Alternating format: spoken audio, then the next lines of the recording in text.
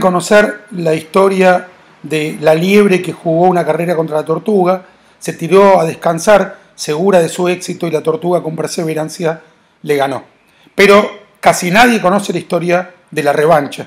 Volvieron a competir, la liebre iba ganando por mucho, volvió a quedarse tranquila y la tortuga perseverante le volvió a ganar. Las liebres se fueron a dormir temprano, las tortugas no lo podían creer, fueron a festejar, pero la tortuga que había ganado seguía sin poder creérselo. Y tarde en la noche, mientras las tortugas seguían festejando, se fue con la misma perseverancia hasta el pueblo de las liebres y encontró a todas las liebres dormidas, menos a la que había perdido, que escribía a la luz de una vela. Le preguntó, ¿por qué te dejaste ganar? Ah, ¿te diste cuenta? dijo la liebre. La verdad es que mi abuelo, hace 100 años, también se dejó ganar.